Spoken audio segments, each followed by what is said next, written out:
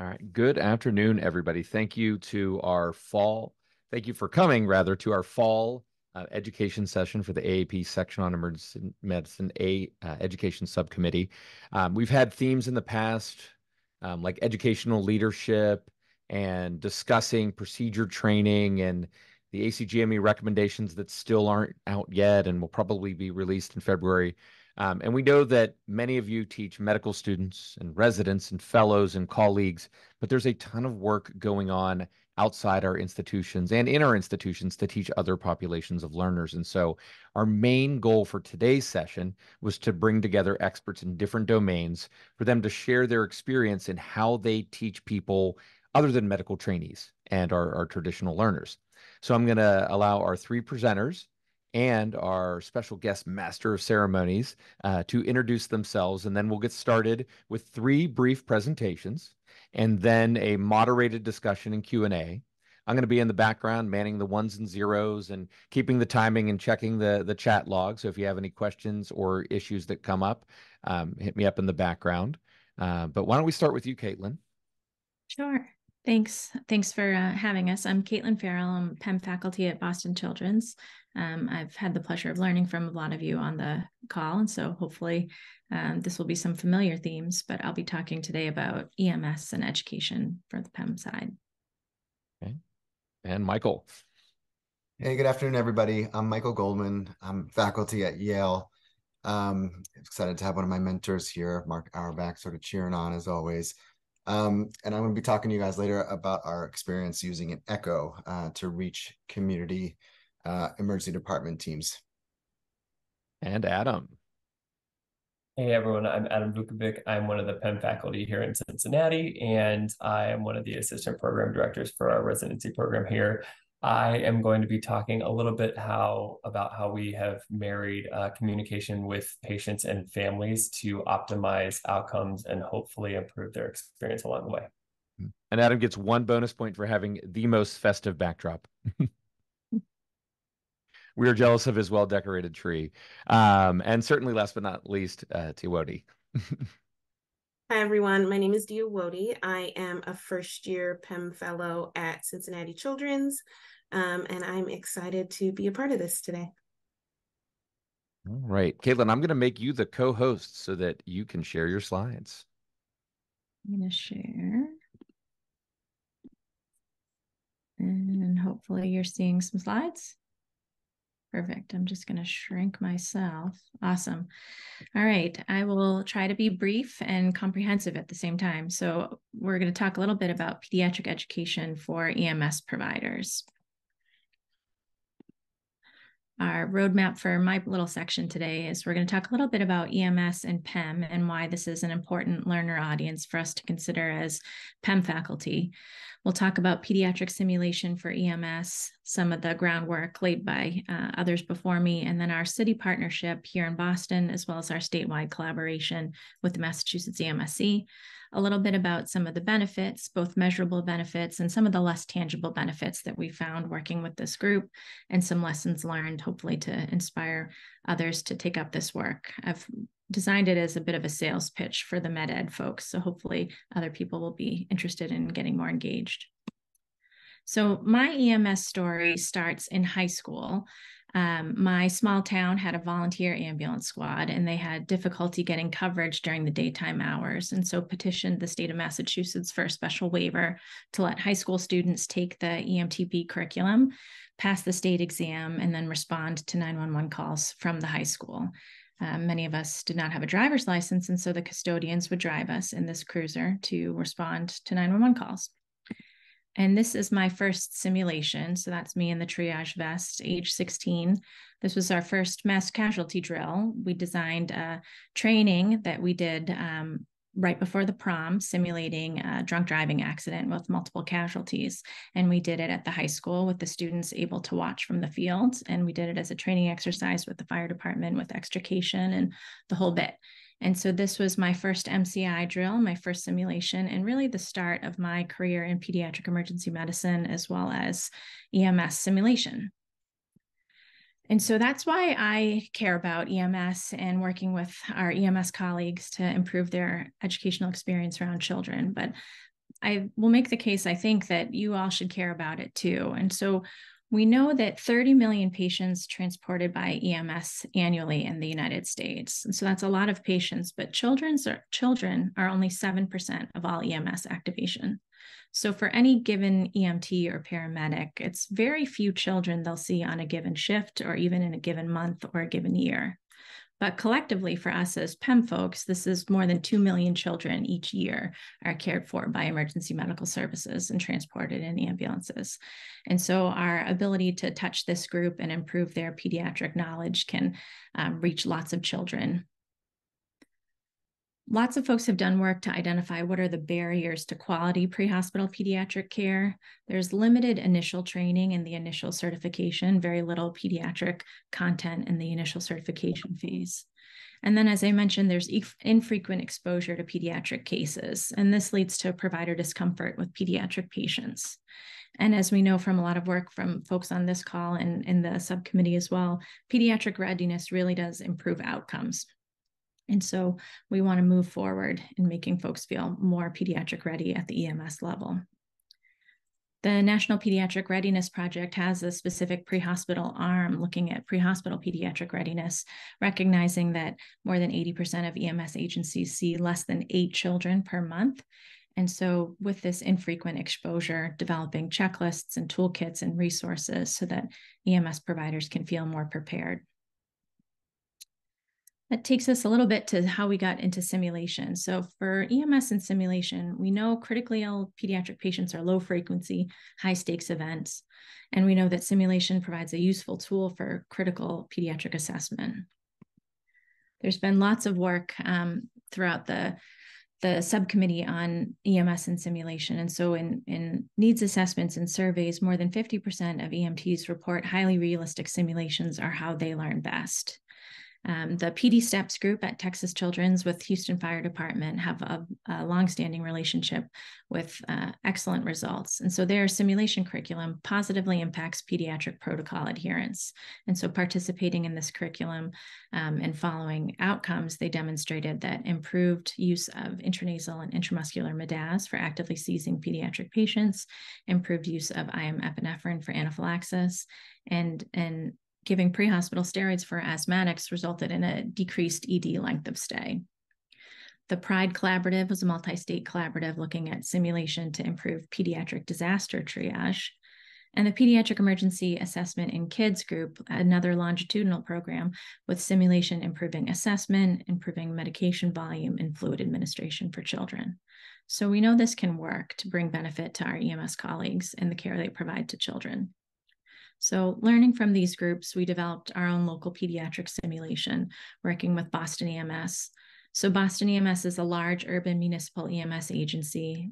They run a tiered BLS ALS response and have about 130 or so annual incidents. But similar to our national numbers, only 5% are for children under 15. When we started our curriculum, we began with a needs assessment, and they self identified infants, children with special healthcare needs, and respiratory emergencies as the situations and cases they felt least comfortable with. And we also identified recent protocol changes for BLS providers, such as check and inject epinephrine. Using this needs assessment, we developed small group high fidelity simulations and we integrated procedural skills throughout our cases. Our first year of this collaborative, we did an educational study looking at um, 213 EMTs and paramedics at Boston EMS. Our intervention was the pediatric simulation cases, debriefed with PEM staff in a case based didactic. Our analysis was pretty simple. We just did pre post test assessment, and then we did a follow up assessment with survey six months later just briefly a, a, little of our highlights. So the median knowledge assessment at baseline was 80% with the interquartile range there. Post curriculum went rose to 89% with a mean improvement of 9% and a few pictures of some of our debriefs. Even though we know that confidence doesn't always match competence, we did measure it just so we get a sense of um, what crews thought of the program on our first off. And 100% found the session helpful, which is what every educator wants to hear. Um, 93% reported improved confidence, and perhaps more meaningful, 20% reported they used skills they learned in the training in the subsequent six months of actual patient care. We also identified this was a really mutually beneficial relationship. Um, the EMTs and paramedics really appreciated the real time feedback with the PEM docs, and we really enjoyed getting to know our colleagues. Um, now we have lots of familiar faces coming through the emergency department, and my colleagues got to learn a lot about EMS and really what a two man or a four man crew can get accomplished for really sick kids. The success of this program in Boston led to a statewide collaboration through the Massachusetts EMSC. We are very lucky in Massachusetts to have many academic pediatric emergency departments. And so each PEDS ED was paired with its geographic EMS region. Again, we started with needs assessment to help inform our curriculum. We developed the curriculum together, we pooled our simulation resources and expertise, and we had a total of 34 physicians, two nurses, five paramedics, and nine sim engineers who put on five eight hour pediatric training days over six months across the state. This is um, Massachusetts. Our green stars are the locations of our training, and the red dots represent an EMT or paramedic from each of those communities um, participating in our program. Again, we just did kind of simple pre-post test assessment with a 9.8 improvement in post-training score and some retention of that improvement at the six-month follow-up. As often is the case, our six-month follow-up had pretty low response rate, but what was really striking and what kind of keeps us moving forward in work like this is that 83% of respondents reported no additional pediatric teaching, like none, not sim, nothing, just any pediatric uh, teaching in the six months after they participated in our curriculum. 72% had no additional sim training, but more than half reported they used things they learned at the training in actual patient care. And we had kind of free text narrative um, with people able to put in stories of things that they learned and care that they were able to provide. So, stepping back and thinking about our work so far and where we're headed, I'd say some of our important lessons learned is really early involvement of stakeholders and understanding what are the needs, what are the resources, um, making sure that we have needs assessment to divide curriculum development. It's not useful to teach just what you want to teach if it's not really what they need to learn or what they have deficiencies or worries about. And anytime we run sim off our site, it's really helpful to do dry run, test equipment, find the connections, uh, make sure we have the resources and the setup that we need. And I can't really emphasize this enough is benefiting from others' experience. Manish and um, everybody in Texas and the Marks in Connecticut have been really generous with their experience and their time. Um, and I've been able to learn a lot from their work ahead of me so I could kind of start two steps ahead with all of their lessons learned already. And I think we weren't expecting it, but it's been really, really a mutually beneficial relationship for the PEM staff and the fellows. EMS is an important piece of the ABP emergency medicine boards, and getting the fellows integrated in the medical control idea and scope of practice earlier on has been beneficial. And just having kind of friendly, familiar faces in the department as the EMS crews roll by has been um, really a nice silver lining for us if you're thinking this sounds like an audience that you're interested in working with, but you don't really have the bandwidth to say, let me develop a simulation curriculum for the city or for the state, um, there are lots of smaller ways that we're involved with our EMS communities locally. So we do a lot of case reviews, kind of as simple as I get an email saying the crew's worried about how this kid's doing. Can you give us some feedback? How did it go? Should they have done this? Um, and so those little emails back and forth to training captains or medical directors can be really powerful to give them feedback on how a child did and decisions that they made or provide support when cases go um, not well. And it really helps with the relationship building for EMS leaders in the community. And then hopefully folks are all involved with their EMSC at the state level. All of our states have OEMS um, regulations that inform the pediatric protocols for kids cared for by EMS providers. And it's really important that we have PEM voices um, informing all of those protocols. And so by being involved with EMSC, you can oversee the protocols through your state OEMS um, office. And again, just highlighting the opportunity to bring your fellows along when you're participating in some of these programs. What's next for us? We are in about two months doing our fifth annual Boston EMS PD Sim series running in January and February. The Massachusetts EMSC continues to be active. We're supporting PALS courses for EMS providers. We're piloting the AAP VR curriculum for EMS um, and working with some regional and statewide case reviews, um, which is one of the benefits of Zoom is that we can get large groups together to talk through cases together.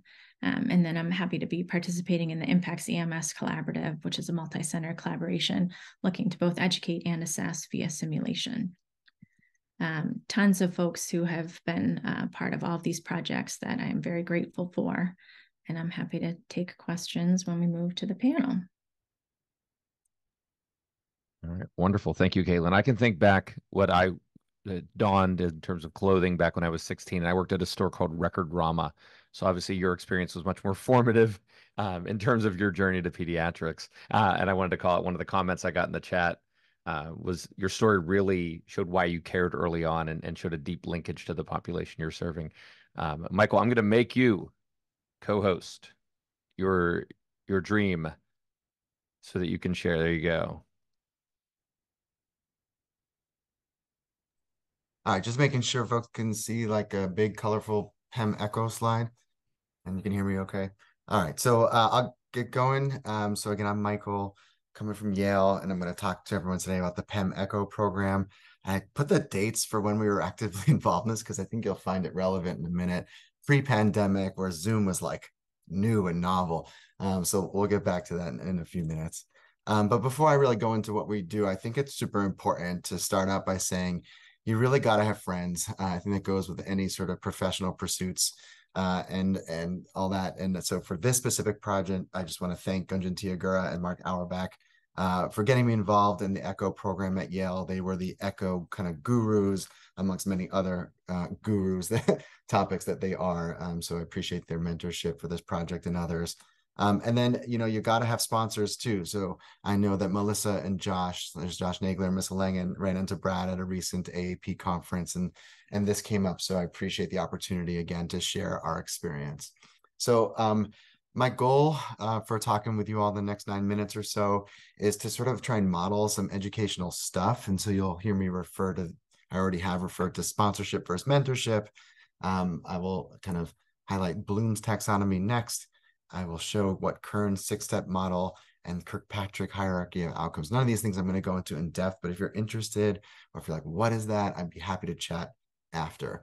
Um, and then by the end of this session specifically, I hope you all will be able to define terms ECHO, EMSC, and PEC, and we'll go into that. Um, describe our PEM ECHO story, and then discuss and reflect during the uh, conversation at the end sort of like how this echo learning model can reach novel learners in your different areas of practice. So again, uh, we'll go from here. So what is echo? Um, I think the graphic is a little bit busy, but I think it catches the the fine, you know, the meaning here. Um, can folks see my cursor, or does it have to be over here? Yeah. Okay. Cool. So um, it starts at the top where you have like subject matter matter experts, um, and they meet with folks in the community. Ideally, these are providers that are interacting with people on a firsthand basis. The whole idea came out of University of New Mexico, a very rural region where folks at the medical center were having excellent outcomes for the hepatitis C in their patients, but folks in the distant communities were struggling. And so the subject matter experts formed a community of practice with local providers to sort of get them up to speed as to how best take care of hepatitis C, how best to reach their local patients and the people in their own communities. So bringing this expert knowledge to the communities as opposed to expecting everyone to make the big trip to the big academic medical center. And I think what I really want to call out about this diagram and this model is a couple of factors. One, this idea of learning loops, uh, in that the um, subject matter experts definitely should show up and think about learning as much from the experience as they hope to impart on the um, folks that are sort of like the first-hand recipients of the information. Um, what's thought is that the subject matters think about how they can impart their practice and their expertise in culturally and geographically diverse care settings and not with all the amazing like resources and opportunities that one has at an academic medical center. So there's tons of learning that goes in a bidirectional manner. And then in doing so and in discussing issues and barriers to excellence in care and whatnot, this community of practice forms. So this means, you know, a group of folks organized together towards a mutually benefit, you know, a mutually you know, an idealistic goal. Um, and they're working through barriers, they're discussing different synergies to bring expert medical, you know, practice in this case, um, to the patients in where they are most set up to find these patients. Um, I would say one of the biggest things um, that ECHO strives to do is to improve patient outcomes through telementoring as opposed to telemedicine. So not trying to cut out the middleman, but really, really prepare that middle person to really do the job to the best of their ability. Um, and again, at a convenient way to reach patients. Um, so I'll talk through our specific project and how it pertains to pediatric emergency medicine and EMSC, many of the concepts that Caitlin has already figured, but I'll use this tool. Um, this is Kern's six steps of curriculum development and evaluation. And the reason I presented is I thought that the majority of the audience were people new to medical education. And so this is a, a method, this is a methodological approach to developing and evaluating a curriculum and what I think it does, which I, I know it does, is it really does add rigor to the curriculum, which I think is the ideal, the reason you use such a method. Um, and then ideally, if you're going right up what you're what you're getting involved with, um, this is the methods section of your paper. So thinking through this uh, really thoughtfully um, and intentionally uh, goes a long way. I'll point out certainly the fact that it goes in a circle um, and we'll go through that circle together. But then I also want to point out all the interconnected arrows that make for this fancy design in the middle, so that, for instance, your goals and objectives really should directly inform the evaluation and feedback that you get. So, are you meeting the goals and objectives of your curriculum? So again, not diving in depth to some of these meta, you know, things, but just wanted to sort of highlight it and show it, and then we can talk later about it some more. Um, so specifically back to PEM Echo, We'll start with the problem identification and what is called a general needs assessment. Caitlin hit on some of these themes already related to EMSC, Emergency Medical Services for Children. And the statistic that haunts us, right, in the PEM community, which many of you know, of course, is that 80% of 85% of children seek emergency medical care in their local community emergency department. But most of these see only about five to 10 patients a day, and most of those patients are quite low acuity. And so that statistic, that numbers game in and of itself is just really hard to prepare for. And so many places either can't or don't. Um, EMSC state partnership programs really is in existence to address this, this numeric challenge, right? And we have state partnership programs in all 50 states and many of the US territories. The mission is to ensure that any acutely ill or injured child receives the best emergency care wherever they seek it. Um, we use something called the Pediatric Readiness Assessment, um, which is a tool that has excellent validity evidence that measures a community emergency department, or in Caitlin's case, an EMS agency's pediatric readiness. And we know through the literature and really excellent studies that have come out fairly recently that high scores correlate nicely with decreases in pediatric morbidity and mortality from both injury and illness we have found that the biggest driver of pediatric readiness is this idea of a PEC, this pediatric emergency care coordinator, which is simply an individual, oftentimes a physician or an APP or a nurse and or a nurse, I should say, that just sort of have an interest. They have a commitment to improving pediatric care in their local shops. Um, and the one thing that they have to do is liaise with their state partnership team and really kind of be in touch, uh, work with the, work with us so that we can help them improve education, improve outcomes, improve the quality of care that kids receive in the community setting. Schematically, this is what EMSC is all about. We sit in the middle in Connecticut and work very collaboratively with the two children's hospitals there at Yale and Connecticut Children's. And I oversee, as a medical director of initiatives that um, work towards improving readiness at community hospitals, and my colleague Mark Cicero works uh, on initiatives that improve pediatric readiness uh, in the EMS agencies in Connecticut. So that's the general needs assessment. Our targeted needs assessment is the next step. And we had undertook a project um, through Yale in our transfer center with seven like high flyer, frequent referring um, regional hospitals that would send their kids to us all the time. And what we started to do was close feedback loops, right? we think that this is a good practice in general to know what happened to a patient that you've sent, you know, either down the highway or up the highway for the uh, pediatric hospital's care. And we did a qualitative analysis. We sat down with um, PECs at these different institutions after about 100 or so cases had been transferred. And we did a pretty thorough qualitative analysis, but I'll just highlight one theme that's relevant to today's talk, in that people felt that feedback and follow up can create a big database of targeted patterns like what's going on with pediatric emergency medicine in the state of Connecticut.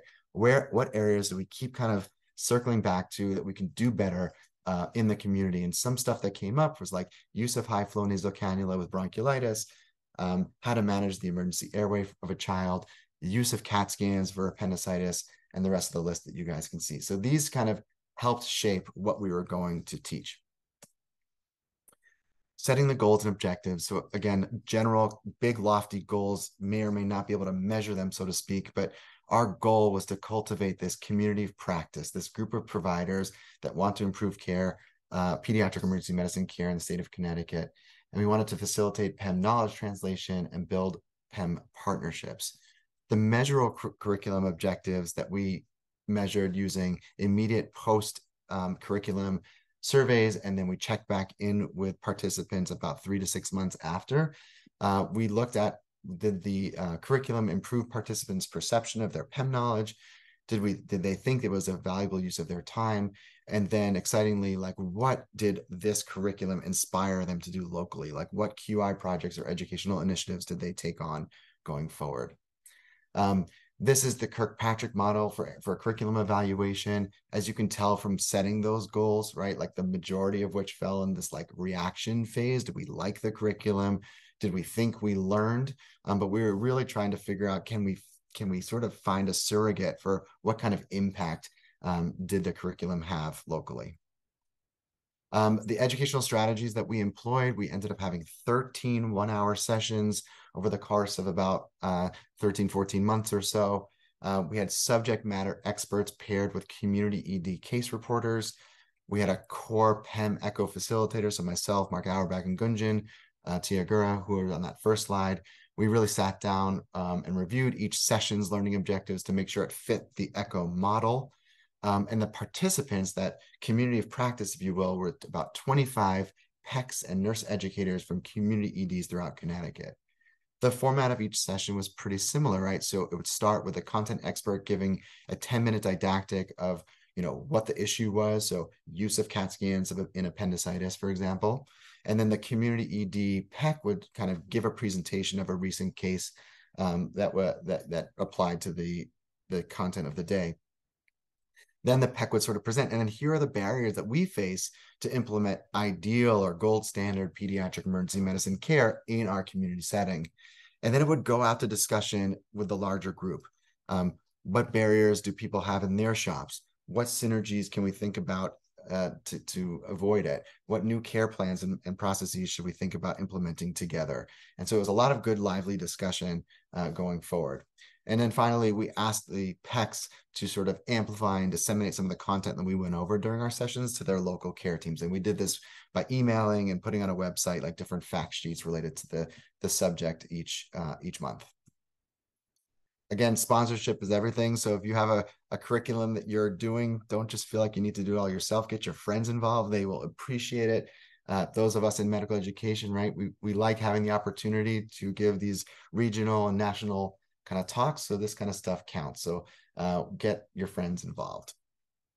Um, implementation and piloting i'll just you know invite everyone back to 2019 where zoom was like a, a, like a what you know? No one knew how to share a screen no one knew how to come off mute like kind of haunts me to this day. And so we were fortunate to work with the connecticut chapter of the american academy of pediatrics who did a lot of the logistics with us and made sure our technology was right etc we also were able to provide cme credits to to physicians and this the equivalent for nurses. Um, and again obviously that facilitates attendance, um, but it does, there's like a cost to it. So it's just something to keep in mind as you think about implementing curriculums in your regions. Um, and then we did a lot of just sort of sitting down and meeting with content experts and PECs before each session to make sure, again, it met the flow of the echo. So there's a lot of piloting and a lot of considerations for implementation. Again, I alluded to this earlier when talking to go about goals and objectives, but our evaluation and feedback, we did that post-participation evaluation which collected self-reported perceptions about knowledge translation and the perceptions of the formation of community practice. And I'll spare you that there was like, you know, generally positive descriptive statistics uh, about that stuff. Uh, but was really exciting and what I'm excited to share with you guys is that when we checked back in with the PECs months later, uh, we learned about some really exciting stuff that was going on that was inspired by our curriculum. So, for instance, uh, a couple of a hospital um, did a pretty thorough quality improvement project to reduce CAT scan use when working at pediatric appendicitis. We had another hospital get involved and increase intranasal midazolam use for simple procedures. Many hospitals implemented pediatric specific code cards. There were capital investments in high flow nasal cannula. Many folks um, started or integrated pediatric cases into their ongoing simulation series. Um, and you can read the list of different kind of projects that went on throughout our state as a result of getting involved. We also did different echoes going forward. Um, those that relate to PEM, you know, were specific um, to nursing or the PECs in of itself. We talked about behavioral health emergencies, and Dr. Tiyagura did an exceptionally cool one about child abuse and neglect. And then other PEM echoes, um, other non-PEM echoes, I should say, occurred through the mentorship of Mark and others at Yale. So reflecting, you know, wins and losses always, right? So I really love this opportunity to work with non-traditional like med ed learners. Um, again, I really felt like that bi-directional learning was was I learned so much, probably more than I could have ever imagined teaching in those sessions. And really thinking about that challenge that, you know, if 85% of children are seeking care outside of the fancy academic medical center, like what is the true role of PEM? It's really to reach our patients, not to expect them to come to us. So thinking about how we can practice um, in the community a bit better was really uh, motivating for me. Um, I would say, you know, kind of lo- losses, if you will. Like I just never know, like what's the right outcome to measure, and specifically for an echo, right? Could it be neat to have measured? I don't know. Maybe we would see increase in telehealth visits um, with these partner sites, and that would maybe change practice or changes in referral patterns in these echo participant sites. Um, I think now, you know, like obviously you guys are lively and engaged, but Zoom fatigue is real. And so, um, what's the best way to form these community practices now where everyone who sees another Zoom meeting on their calendar can kind of have a, a deep breath of, oh boy, um, and then sustainability, the norm is turnover. Um, I think we see it a lot in our pediatric centers, but my goodness, it's even worse in community emergency departments and EMS agencies. So this stuff consistently needs to be re-upped and, and sustained. So I think I wish I sort of had a sustainability or a succession plan, uh, you know, in place before we we finished up what we were doing. Um, and so, you know, I, will save the rest of my remarks for our uh, for our discussion. And uh, thanks for the opportunity to share. Thank you, Michael. Uh, yeah, I had no idea that the amount of turnover and different providers. It's rare that I talk to somebody from referring hospital that's been there for you know 15 or, or 20 years. Um, and I shared the list of the experts. Hopefully, they won't get spammed, but I look at that as a, a quite an impressive lineup of folks who know a lot about different topics. So I hope you're okay with me sharing that in the chat. Um, let's move on to Adam, and then um, Deawodi will start with a moderated discussion. But go ahead, Adam. Thanks, Brad. And I was a little nervous about sharing my screen after all those comments about Zoom. So I think we got it together. I hope everyone can see my screen. But um, I wanted to talk again just a little bit about empowering families and caregivers at discharge around symptom management videos. And so objectives for this talk really are just to understand my why and how I got into patient family experience and then sort of connect patient family experience to some clinical outcomes or recognize where those connections might not yet exist in pediatrics um, understand how to interpret the data that we've used to kind of come up with some of our interventions, and then uh, coordinate efforts to reach patients where they are. And lastly, recognize how to interpret the impact of some of those interventions. And so I think I wanted to start with just what is patient family experience. And I think everyone on this call is used to kind of being the right hand of the screen. Our report cards were filled with A's. We're used to being high achievers. And my first faculty job um, out of fellowship I got a patient experience scorecard and did not feel as though I had gotten A's and was trying to kind of reconcile what I was seeing in terms of comments, a lot of which I felt weren't attributable with this score that I was handed. Um, and didn't really understand how I was, you know, supposed to interpret that, and then was met with a, an additional challenge of, we want you to improve this. Um, and you know again leaning into the lack of attribution to some of the elements that were in there I had to start to think, well, what makes this an Im- important at all? And so um, I think that one of the questions I had to ask myself, well, what is the problem and, and why is patient family experience important? And so um, again, um, as is often common in the literature, some of the PEDS data is uh, lacking behind adult data. So, um, and this is certainly not meant to be exhaustive, but just some exemplars um, looking at um, adult uh, retrospective review of 3,000 uh, emergency departments who report to the Centers for Medicare and Medicaid.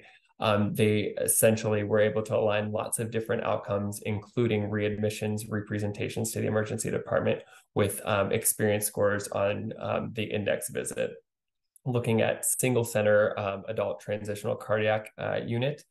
This was, a, again, a retrospective study, but they were able to tie um, uh, experience in the discharge process to representation and readmission, where uh, patients who had better experience were less likely to be readmitted to the hospital in 90 days after discharge. Um, those who were uh, felt that their social needs were met during their hospitalization were less likely to come back to the emergency department with sick, within six months of discharge. And lastly, those who overall felt that their experience was uh, more positive had a lower six month mortality. Um, within the pediatric realm, there are lots of uh, studies that look at communication, and communication gaps are certainly real. So they're in a qualitative retrospective or a qualitative study, excuse me.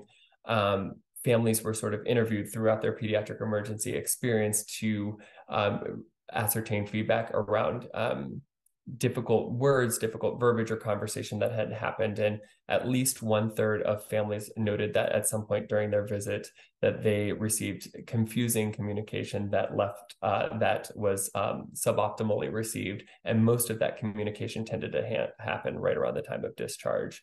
And then lastly, when trying to promote clinician and family partnerships, a qualitative study uh, reviewed the interactions between um, providers and families and found that you know the way that we speak with families can either encourage um, uh, cause uh, hindrances to the partnership or just completely miss it altogether. And so they really uh, tried to stress the need for engagement and understanding how to communicate more effectively with families. So how did we figure out um, our needs related to patient family experience? And so I think, firstly, I would be remiss without pointing out that um, uh, time in department, time to provider, and wait times are probably the, the strongest uh, indicators of experience families want to get, get in, get seen, and get out. And so um, when we kind of table that discussion and look at other factors um, associated with experience, we um, at Cincinnati Children's very uh, very strongly want to get feedback from our families. And so this is looking at 12 months worth of um, um, patient encounters and the number of people that we tried to seek feedback from after their visits is over 125,000 uh, uh, attempts. And we have about a 13% response rate. We uh, reach out to families initially via text and then by email and lastly by calling them. And uh, that sms is the the phone call. And so or excuse me the ivr is the phone call. And so you can see the breakdown of how families ultimately choose to respond to um, their experience surveys uh, in that circle below.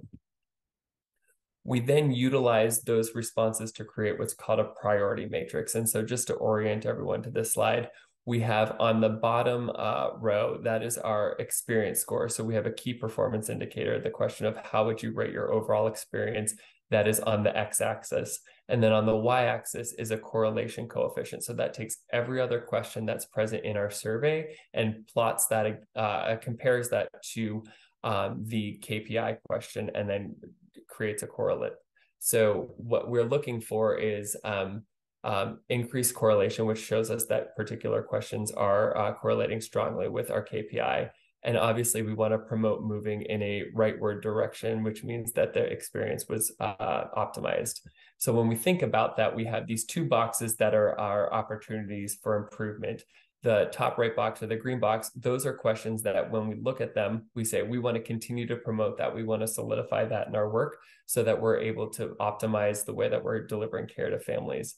The top left box is the opportunities for improvement. These are things that correlate highly with how families' experience overall uh, goes, but that we're perhaps not performing as strongly at. So um, when we looked at that top left box, those areas for improvement, what we found is that the the questions that correlate strongly where we aren't maybe performing as well include I got enough information about my child's diagnosis, I got enough information about treating my child's diagnosis, and I got enough information regarding manage my child's symptoms at home. And so thinking about what are the next steps you know uh, recognizing that most patients who present to an emergency department are ultimately discharged we are entrusting these families to take on the delivery of care after they're discharged from the emergency department and found that this was pretty important to start to address to not just optimize experience and really thinking that it, of experience as a secondary outcome, but really promoting how we promote um, health and wellness of families after discharge. So we uh, started to think, well, how do we find our patients? And our plan initially, and this is uh, right around the time that COVID happened, was to uh, work through uh, our patients presenting with bronchiolitis because we found that that was a high volume patient. Um, there was a lot of um, opportunities to learn. And so we planned for bronchiolitis and COVID happened and we lost all patients with bronchiolitis. So we went back to our drawing board, re-reviewed our data and came up with three symptom profiles that we felt might um, uh, adequately reach the largest number of patients. And so we uh, thought that we would create uh, some standardized communication around cough and congestion, fever management, as well as oral rehydration. Um, in our urgent cares alone, we found that uh, by creating just these three videos, that we would reach 30 to 40% of all presentations that come to either one of our um, emergency department associated urgent cares or any of our neighborhood urgent cares. So what we then decided to tackle was the concept of um, varying uh, discharge instruction handouts. And so we recognized that um, there are options that are sort of embedded within our electronic medical record, as well as some um, homegrown discharge attachments that existed. And so we collated and created through um, sort of the powers of lots of uh, individual efforts and ultimately divisional uh, buy-in and agreement through their review um, singular discharge attachments that kind of included all of the relevant information that we felt would be important for families to understand after they were discharged um, with these videos, we then created, or with these attachments, we then created discharge instruction videos. The content of those videos kind of mirroring our um, attachments so that families were able to kind of follow along with the discharge attachment while they were watching the video. And we created a QR code that we included on those attachments so that family could families could rewatch and re-review once they were home. And this included instructive things about how to administer rectal Tylenol, how to suction, how to offer oral feeds, and things of that nature we then felt like we needed to be able to track and understand was there any impact to our intervention? And so we created an icd-10 list of diagnoses that we would continue to monitor. We recognized that this would not maybe hit every single patient who's observed a video but that we were able to standardize the way that we were approaching monitoring um, and the impact of our interventions. So we uh, then created a, an output um, in Power BI that uh, allowed us the opportunity to kind of uh, assess the impact of our interventions. Um, I highlighted two areas here. Um, we, uh, as you'll see on the next slide, related to our usage thus far, we're still on the upswing, but um, we have about a 2% uh, improve, uh, higher rate of yes i received enough information about my symptoms and diagnosis for patients who have watched those videos as opposed to those who have not with the associated icd-10 codes.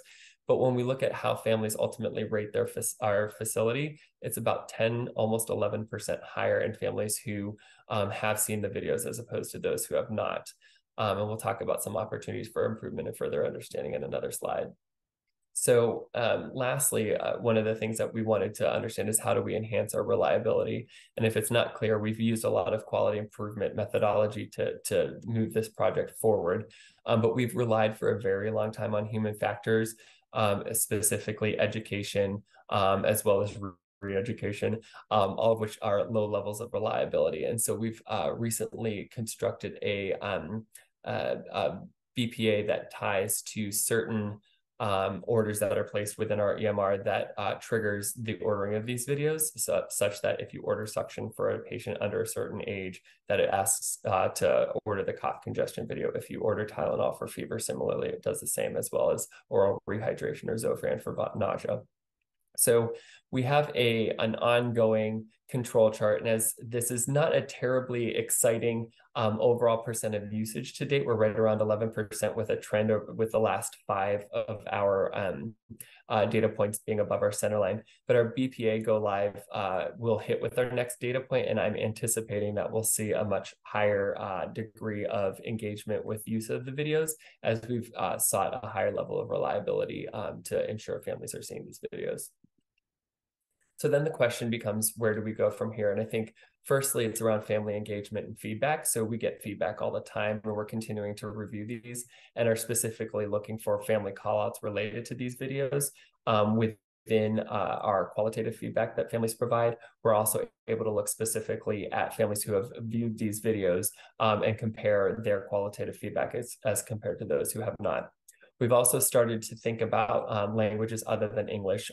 Um, we have a very large Spanish speaking population in our uh, in Cincinnati, and so uh, we recognize that there are already disparities in care around communication with families who speak languages other than other than English, and so we've already created Spanish uh, attachments as well as videos to address that barrier. And our goal is to monitor the gap in um, um, some of our communication metrics uh, related to our um, survey and make sure that we're not widening the gap with a goal of ultimately closing that gap.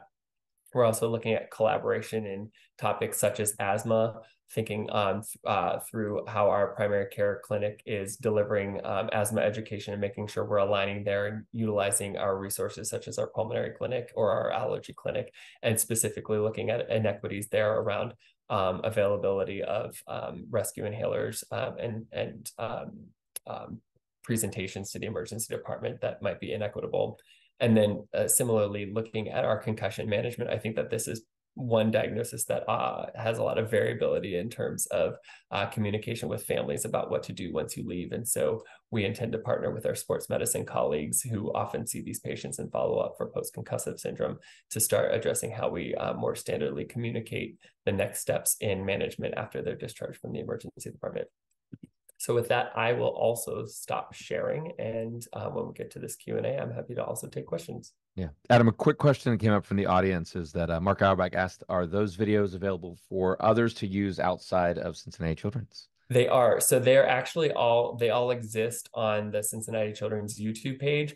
Um, one of our next steps, when as I first started this, was to look into how we don't recreate each other's work.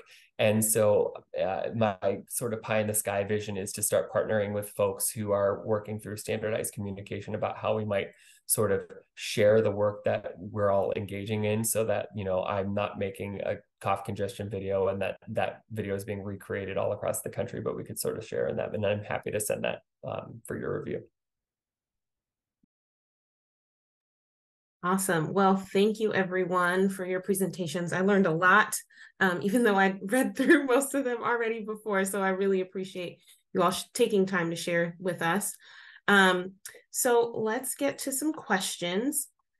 So, um, Caitlin, this first one I'll have you answer. Um, why is this particular learner audience um, important to PEM physicians, for PEM physicians to reach, and what um, what is different about these learners than your usual residents, students, or fellow audience?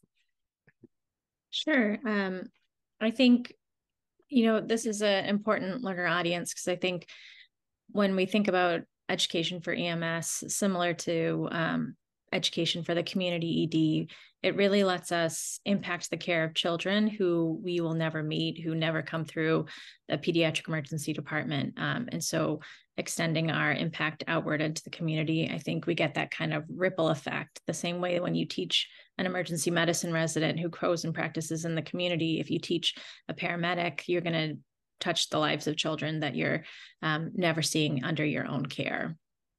I think there's a lot of differences in the learner audience. Um, the EMS folks in general are really experts in working under stressful situations. They make decisions quickly. They're in challenging social situations, uh, dangerous situations, and like the working under stress, multitasking, thinking quickly, like those are skills that they already have that you don't need to teach. And so it lets you step back a little bit and say, like, what is the pediatric nuance that I can give them? How can I empower them to say, I'm really good at adult arrests. I do it every day, but I'm terrified of the pediatric arrest. And how can you kind of make them take that next step so that they can reach into the toolbox they already have and treat children with a little bit more nuance, with a little bit more confidence? I think the other difference for the EMS providers is there's like a lot of low hanging fruit. There's not much engagement for pediatrics with EMS in general. So any pediatric training is going to be well received. Anything you can offer, any outreach or um, recognizing that they have a challenging job and you want to help them, like anything will be more than what they currently have from a pediatric standpoint. Um, and so it's not like a, a, residency or fellowship where there's already a bells and whistles curriculum. It's like there's nothing. And so if you give a little, that's a lot more than they already have. And so I think that makes it easier to get your foot in the door, so to speak. Awesome. Thank you. Adam, what about you? Um, I think firstly, you know, when you think about patients and families, I think we are all trained to minimize jargon when we're talking to patients and families, but I think that that's really important in the emergency setting, whether the presentation is truly an emergent or urgent presentation. I think that families tend to believe that there is some level of urgency, uh, otherwise they wouldn't be there. Um, and so I think that it's sometimes hard to receive information in that in that mindset. And so I think that we have to recognize that um, in this instance, our learner is somebody who maybe doesn't have their full capacity to learn because of their worry and and how that becomes a distraction. It's also you know long wait times. It's overnight. There's lots of things that contribute to making learning uh, a little bit more difficult. I think. Um, the uh, this is the audience that ultimately for most of the patients that we see is going to be uh, responsible for the next steps right so we're discharging most of most of the patients we see and so um, their understanding of what am I supposed to do? What can I do to help? What's wrong? And um, what can I do to harm, right? So, you know, medication dosing, dosing frequency, old antibiotics, safe sleep, all of those things that, you know, are contributors to potentiating harm. I think that, that those are things that families want to know. Um, so I think that really a focus on, you know, clear communication with what is it that I want to do? When should I come back? And then honestly, like a big part that we sometimes forget about is the lived experience of the learner, right? So I can tell you to to get a NoseFrida, but if that $15 that is, you know, electricity or dinner for the week, I think that it becomes challenging and you're sort of missing that connection and that opportunity for a family to feel empowered when they leave. Um, there was just a question in the chat for you, Adam. Um, is there a playlist with all of the patient videos on the uh, the channel, the children's channel on YouTube? There so they all all of them are on there it's not a playlist per se they're all individually loaded um, and i don't run it. I am so untech savvy uh, which is funny that i'm doing this but um, yeah they're all sort of individually listed. Um, for the families we have them on qr codes in the room and now have tablets at the bedside that they're loaded onto. And then brad just said we will share the links with everyone I apologize for my COVID hair, but I definitely grew it out and I'm in one of the videos. So uh, uh, uh, early apology for that. That hair was great though. I I enjoyed it. Um anyways, uh next question. So um for you, Adam, who are some of the most important non-medical stakeholders you've worked with? Um, and how do you assure that they have some buy-in? Yeah. And I think, you know, I've talked a lot about patients and families, and I still wanted to point that out as probably the, the first group.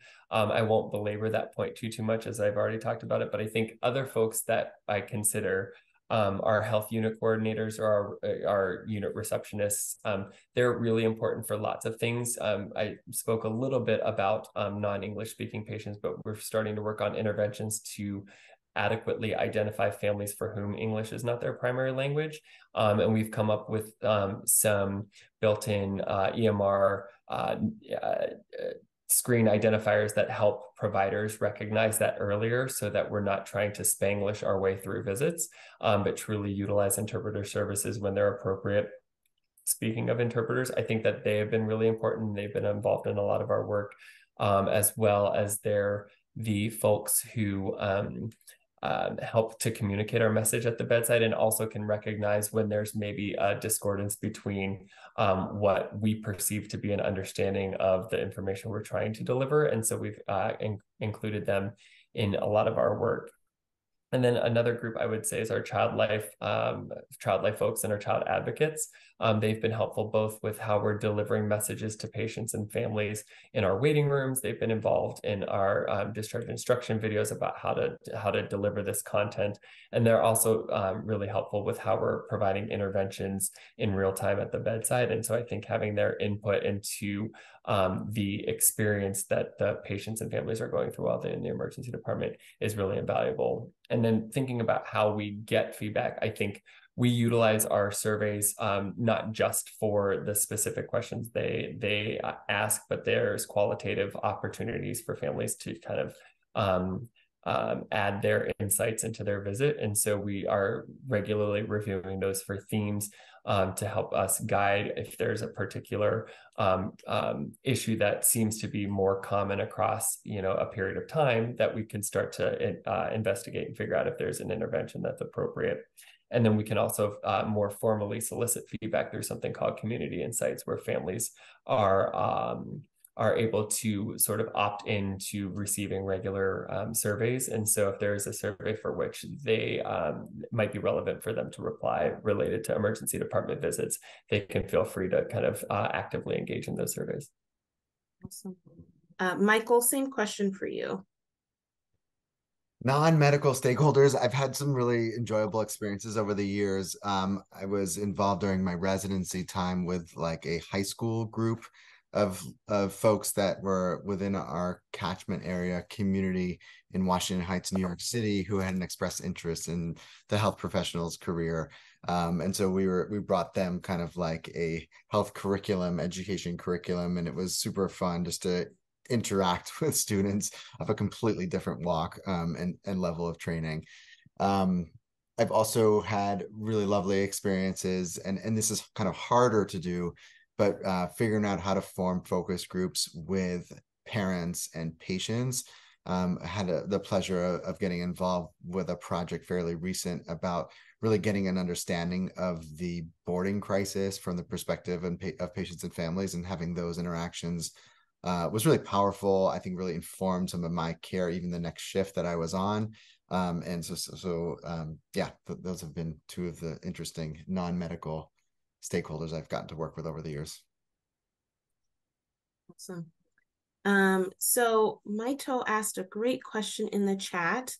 Um, with high turn high turnover, how do you sustain the drive to educate EMS, um, PEC, or community ED personnel, especially with current environment of high staff or staff shortages and burnout? Yeah, it's a it's a great question. Um, I think you know it's hard when we're all being pulled in a million directions to try to pull colleagues into just one more direction and do one more thing, teach one more group. Um, I think it's almost for us, I feel like it's been an anti burnout a little bit um, in a like uh, medical world in which we're overwhelmed, overrun, and feeling like not making a difference with the behavioral health crisis, can't admit anybody to the hospital, can't get anybody home. When you go teach the EMTs and paramedics, like you are doing something, you are helping somebody. It's very tangible and they're very grateful. Um, and so it like fills our cup a little bit in reverse. And I think um, you know to be kind of overworked under resourced and unappreciated is relatively new for the physician world but like the ems group has been overworked under resourced and underappreciated for a long time. And so just to have us come off the ivory tower a little bit and say like your job is important. Thank you for doing it. We'd like to support you in doing it um, goes a long way for them too. And so even though you know we typically teach boston ems on friday afternoons which is everybody's favorite time to teach but it actually like it's it's anti burnout i would say. Um, and so that helps keep us going back to it when it's like oh here's something i can do that people want to be here want to learn. We're all in the same boat. We're one big team and we leave feeling a little bit better than we go into it. So that's been psychologically effective for us Yeah, I'll I just I, I agree with it. I love that answer so much. And I think that finding the things that fill your cup at work or with your extracurricular professional pursuits, not like the uh the massage you get on the weekend or the bar you go to with your friends on Saturday night, right? Like so finding those moments. And and so I think that's a huge piece of it. Um, all of our extracurricular pursuits require a ton of energy. Um, and so you better choose ones that like you're really passionate about or else teaching on a friday afternoon with an ems group is going to feel like a real drag. So i think that making sure you choose wisely in your pursuits is, is like key. Um, and then I, i'll just sort of also say that you know if you feel as if we do something special with PEM, which I think everyone on this call probably does, and then if you f- agree that the statistic of most kids being seen outside of the ivory tower is like a big deal, um, that is very motivating in and of itself. Like that paradigm is something that I want to tackle, and I know Caitlin wants to tackle, and I know many others uh, get really um, jazzed up to to go after that problem. And so I think that helps to sustain the projects. And then the other comment that's just a bit more practical um, is to, to really think through a sustainability um, like a succession plan almost. So you may come up with a project and then you work with someone who you feel like you're a good partner with. And I feel like very early on in the development of that, you should also be thinking about so who's going to take this on in six months to a year and get them involved early and get them involved in a way that's like, hey, you're not taking over my project, but let's continue to build this together and then feel free to take it in your direction so people have ownership. Uh, going forward. So I think having a good line of folks that are you know equally into the mission um, but then are feel liberated to kind of take it in a little bit of a creative direction when they're kind of when they take over the work i think is is a smart way to keep it sustained. Um well thanks for answering that question. I think that's something that is really important for all of us to think about as we move forward and think about how we're going to use these things that we've learned here. Um, so switching gears a little bit um, as with any educational effort outside of our large facilities, we are faced with assuring that our interventions are sustainable. Um, what do you feel like is one of the most important um, pieces of feedback you've received to assure that you can keep making an impact over time? Michael, we'll start with you. Uh, so the most important piece of feedback um, that I've that I've gotten is okay, sounds like a good idea. um, you know, in the in the planning phase. Sounds like a good idea, but make it more rigorous. Make it more methodologically, you know, rigorous. And and you hear that and it just sounds like more work to do, right? Which is sort of like the initial reaction.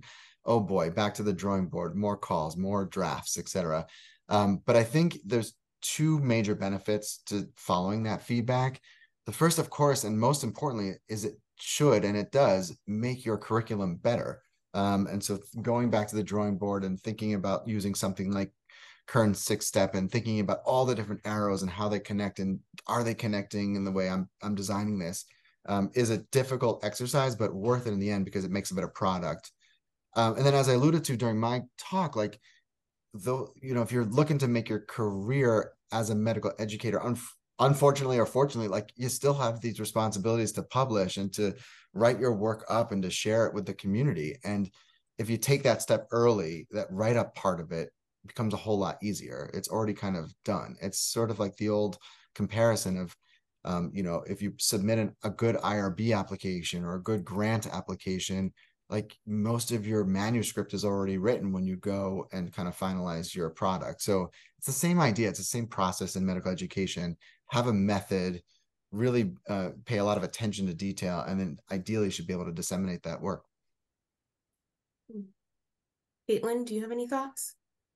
Yeah, I think um, important feedback I got kind of early on was making sure that our facilitators were had an understanding of EMS. Um, and and when you're you know teaching an EMS provider and you're like, oh well, next Keppra, it's like well there's there's no Keppra on the truck. Like you need to know what they stock. You need to know what they have. We'll have like sometimes our fellows will be like why didn't they put an iv in that kid it's like well that's a, a bls truck. Like they can't place an iv that's not in their scope of practice. And so n- nothing went wrong. They just don't have that skill set. And so making sure um, when we kind of have our our facilitators that they have an understanding of EMS. And I am lucky to work with a ton of really great med ed folks in Boston and tapped all of my resources to join this project. But a lot of them don't have a lot of EMS background. And so learning that early on, I made like a little facilitator guide every year when we go through the cases. We do like a little refresh of what scope of practice, what do they stock, how many people are on a crew, just so that we're not um, taking ourselves out of the trauma bay and putting ourselves like back in the truck with maybe two people, maybe three people, so that the recommendations we give, the expectations we have, the advice, the approach is relevant for somebody's living room on the floor and not in the trauma bay with four nurses. Um, and just recognizing that we lose street cred real quickly if we're telling them to do something that's not possible in their line of work. Um, and so, kind of getting everybody there for the start. Awesome. Um, okay, so last question from me. If this uh, work isn't being done where where where you are, how do you recommend one might get started? Um, and what are the career and professional development um, benefits to you and your colleagues um, that you've gotten from engaging in this work? Um, and we'll start with Adam first. Um, so to the first question, I think one one of the learnings that I had early in kind of developing research questions is understanding what your problem is. And so I think part of it is do I have data to support doing something? Um, so you know, for for myself, I I don't know that the PFE score number has ever been the goal, but it's like why does that number exist? Um, and so like looking at you know the factors that go into that so i you know have a lot of involvement in flow and other uh, opportunities for improving uh, that secondary outcome of pfe but like, i think that really understanding what is what is my data source and what is what is my problem so do i need to to design a preparatory study to kind of even understand what the problem is before i design an intervention?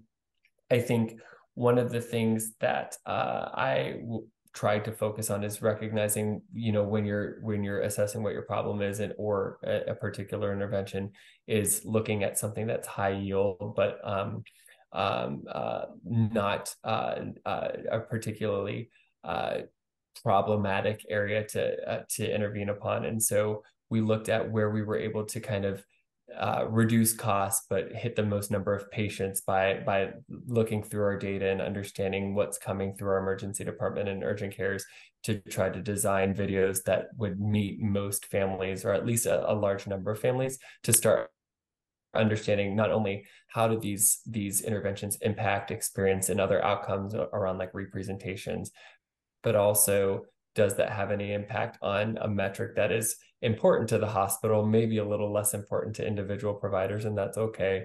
Um, but i think that that um, thinking through how i can minimize the risks and in this case the risk being the cost of development of of working with our EMR to embed this into the system of of of working with our technology team to get this on um, iPads at the bedside and all of those things so um, trying to to maximize gains with whatever intervention you're trying to employ.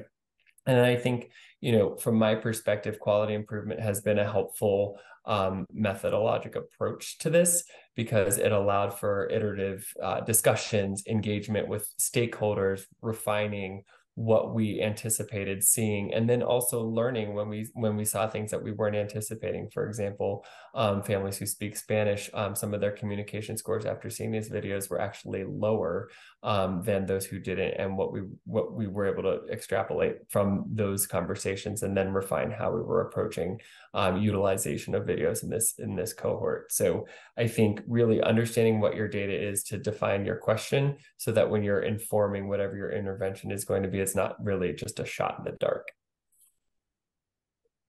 Awesome. Thank you. Um, Michael? Um, so specifically, if you're interested in, in working and educating the folks in the pre-hospital setting and the community emergency department setting, I think a great place to start is to look up who is running your EMSC state partnership program uh, in your state uh, and ask sort of like, what do you got going on? How can I get involved? How can I help? And I promise you the answer is yes, that we are short staffed all the time and we have a lot of ideas, but it's again, it's a bandwidth thing. And so if we meet an, an energetic person who wants to join up, I promise you, well, you know, folks will find uh, exciting things for you to get involved with. I think more general, uh, and I agree with Adam's sort of statement like that he just made is is really approaching the um, the the group, the next adventure, then a project or whatever, with an ask first mentality, with a sit and listen mentality, and design your intervention next. Uh, I think it's oftentimes we think of like, oh, I just want to use this new intervention in a different setting or with a different learner group, but I, I don't find that that actually lands too well. So like, get a sense of what the problem is, identify that problem, what is the local problem, and then really think through how you can use your ivory tower resources to help bridge some of that gap. Um, and then lastly, I'll just say like ultimately the benefit that I think many of us have highlighted. There's like the professional advancement stuff. There's the, um, you know, all that all that good stuff. But I would say like the ultimate benefit of of teaching in these alternative care settings with these alternative groups of people is that I promise you you're going to learn more than you teach. And if you're a dorky academician like we are, like that's fun. That's amazing. Um, it really is a, an incredibly energetic experience to to go to a community emergency department and just like see how they handle stuff.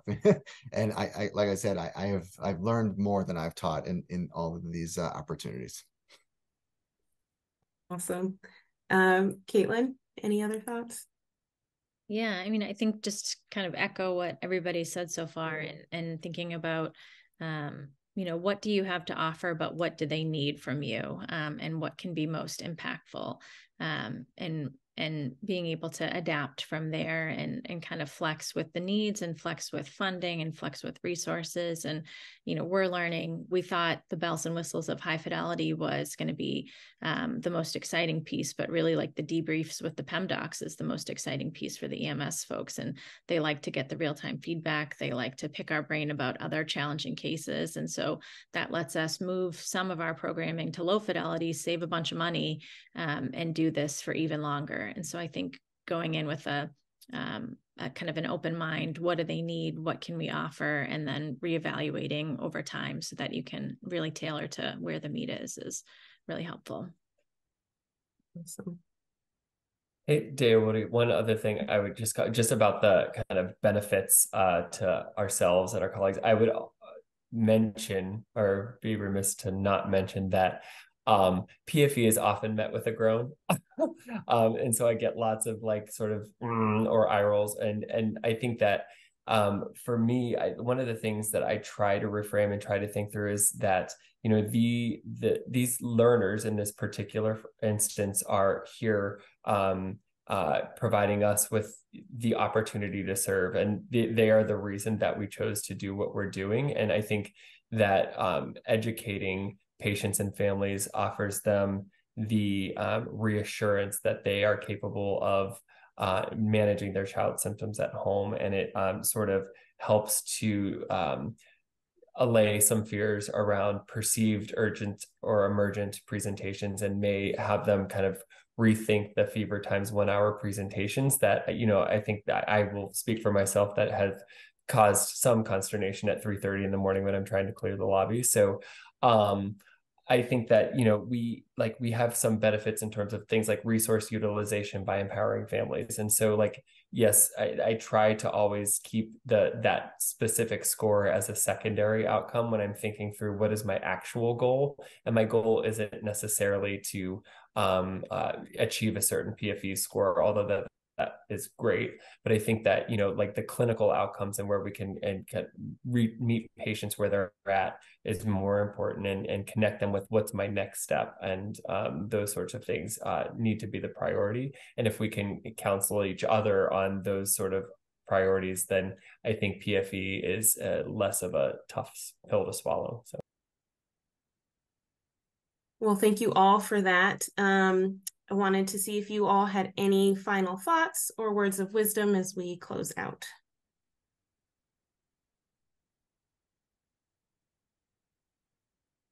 Adam, since you went last, any final thoughts, words of wisdom? No, I just appreciated the opportunity to chat and kind of share my, you know, what I've been working on and um, appreciate everybody's attention. So thank you so much. Caitlin? Yeah, same. I'm happy to be here and to be kind of with like-minded folks talking about important audiences and um, happy to be a part of the programming. And Michael, last but not least. Oh, so much fun. Thanks for the invitation. I, I guess I'll just sort of say like the, all the the presentations were clearly like abbreviated snapshots of what's been going on. I, I, hope the whole idea of these groups is to facilitate further discussions and, and networking and whatnot. So please don't be shy and um, you know, our emails have, will will be distributed or whatever. So like let's keep talking. Great. Well, thank you everyone uh, for coming. Brad, I don't know if you have anything, any last words you'd like to say. Yeah. To all of you who are awaiting the fellowship match results tomorrow, good luck. I know many of you mentored residents and wrote letters and spent a lot of time doing that. So I'd be remiss without saying good luck, knowing that it's less than 24 hours away. Um, thank you for all of our presenters. I will be sharing the recorded version um, along with your contact information to your peers and colleagues who want to reach out. Um, I put the links to all of Adam's videos, including his COVID hair, um, which is absolutely glorious. It's like long and flowing. Um, I'm very aspirational here um, in the chat. Um, and then any other information that our presenters want to share out, I will share with the group as well. So thank you, everybody, and enjoy the rest of your afternoon. Thanks, guys.